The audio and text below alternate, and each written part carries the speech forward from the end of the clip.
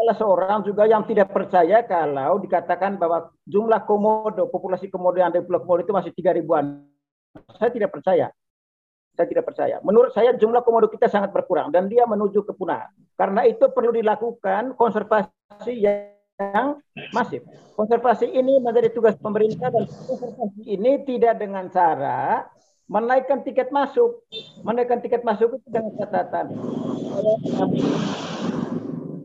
juga sekaligus dan bersama-sama untuk mendapatkan keuntungan sebesar-besarnya dan keuntungan ini dikelola oleh PT Flobamora itu. Nah, saya pikir orang NTT, terutama pemerintah provinsi NTT hanya memikirkan keuntungannya. Kenapa tidak memikirkan kelestarian komodo? Kenapa bukan poin itu yang menjadi prioritas dari pemerintah? Kok pikiran kita hanya mengeksploitasi komodo? Bagaimana agar kita bisa dapat uang banyak dari komodo? Itu nggak benar kita tidak punya komitmen kuat untuk melakukan konservasi. Yang kita yang kita ingin adalah bagaimana menggaruk keuntungan sebesar-besarnya dari menjual komodo. Ini yang saya kira harus digugat, ya, terutama kepada pemerintah provinsi yang punya pengalaman buruk menangani konservasi.